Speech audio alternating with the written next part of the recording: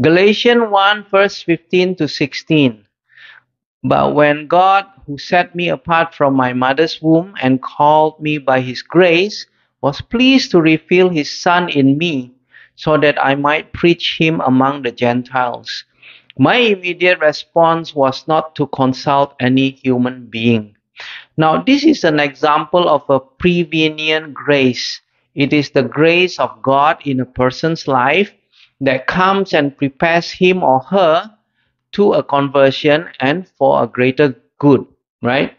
So a person may be on his last dying breath and yet he is kept away from dying and he's not going to be allowed to miss his appointed day.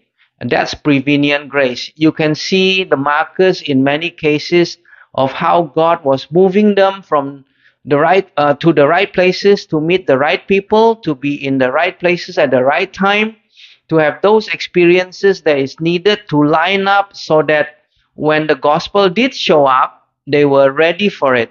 All those things are evidence of god that god has marked us out you and me.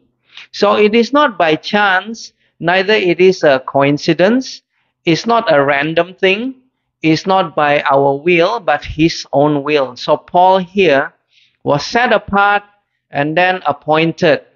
And that call went deeper than, as, than simply a call to believe. His call was to, uh, to go out further and serve God as an apostle.